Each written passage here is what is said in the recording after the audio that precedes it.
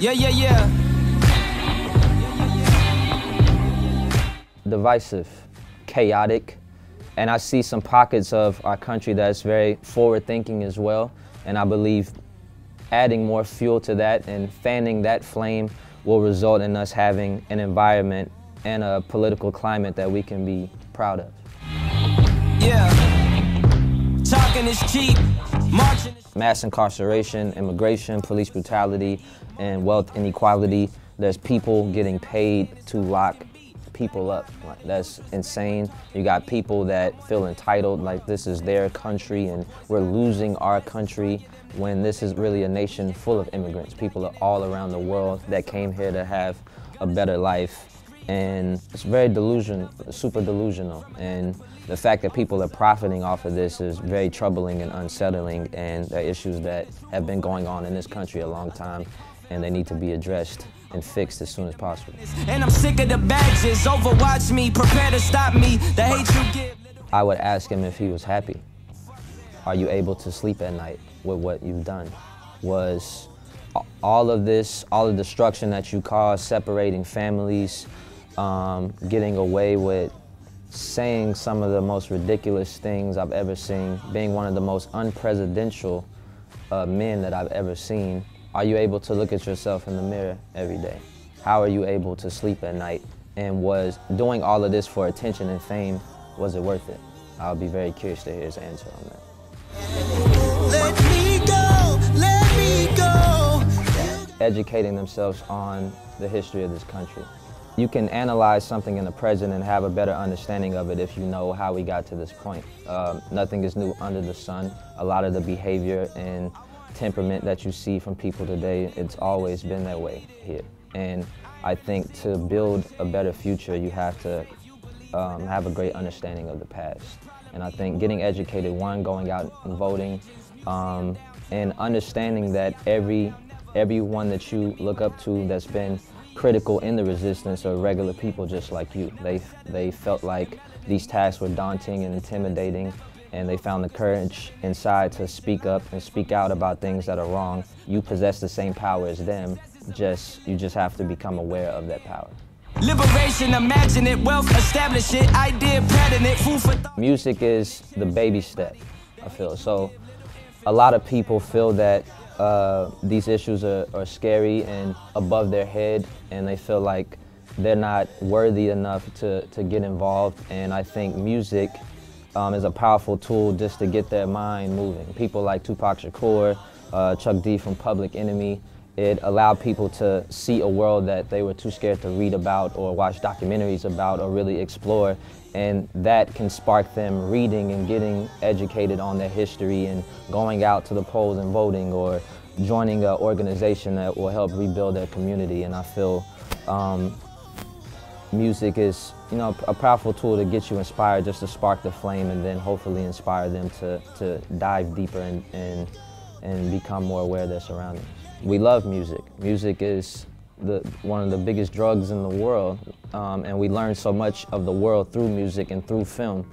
And um, I believe artists were some of the most uh, intelligent people in the world, and artists, especially hip hop artists, were like historians too. We're giving people history lessons that they didn't get in school. And we have uh, a responsibility to educate people.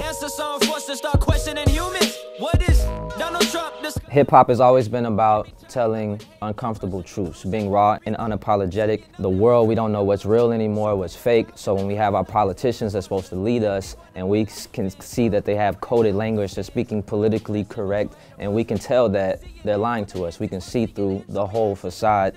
And hip hop has always been an outlet for us to hear things raw and uncut, politically incorrect.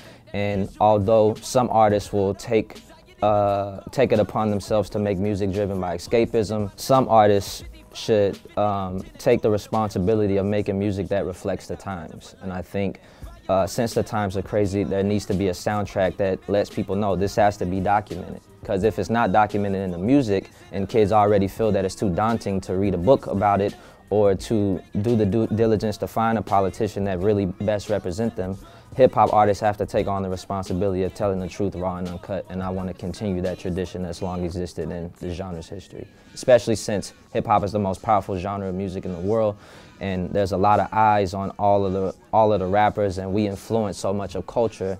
My role is to help influence us to become more aware of what's going on in society, and I think music has been a great tool to be able to accomplish that. Dress, the man in the dress, recording the stress online while holding the text. You can't continue to pass the buck and think that your conditions are going to change. If you say this is too much for me, the next man or the next woman will take care of it and that person does it as well and then the next person does it, then nothing's ever going to change. And I feel um, I challenge all the young people are you going to be the same as everyone before you? That was people that had to deal with even worse conditions. They had the courage to speak up, and you possess that same power and that same energy. And I believe that we have the potential to create an amazing reality for all of us to live in, but it's going to start with us having some very uncomfortable conversations. You cannot grow in comfort. You're going to have to go through some very uncomfortable situations in order to grow and become your best self. When you go to work out, you're literally tearing your muscles so they can get built up. And I think the same thing applies to your mind. And there's no amount of money you can get or success that you can acquire that's going to stop you from feeling anxiety or doubt or any of those things. Just all the people that you idolize and that you look up to, they're moving forward despite it, not because it was eliminated. So understand that you have the power. These are regular people just like you, and we have the potential to do something about it. And once fixing it, we have the power to sustain it, and I believe we're gonna get it done. Fuck running, I study my elders. What? My second verse. I have a lot of hope for the future. I know everything will be all right. I'm a big believer in the law of attraction. What you think you become, thoughts become things. If you see something in your mind, you can hold it in your hand. And I believe we've had um, some really bad pockets in our country and across the world because a lot of people are thinking evil thoughts every day, thoughts of abusing power every day. And if you take a lot of individuals thinking like that, that creates a nation filled up with hatred because that's our thought every day. That's the vibration that we're putting out into the universe every day. And I feel like we have the power to think positive thoughts, the same energy that we spent into uh, being hateful people and being evil people, we can spend that with constructive thoughts and building up a society that we can be very proud of. And I believe this generation is the one that's going to do it. It just all starts with every individual taking it upon themselves to be have brutally honest conversations about what's going on and then use one of your greatest assets, which is your imagination, to visualize what you want to happen. And I think a lot of like-minded people will come together to make America a true utopia and make it great for the first time.